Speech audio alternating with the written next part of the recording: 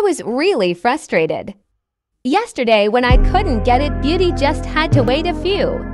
It took me forever to adjust to the set settings.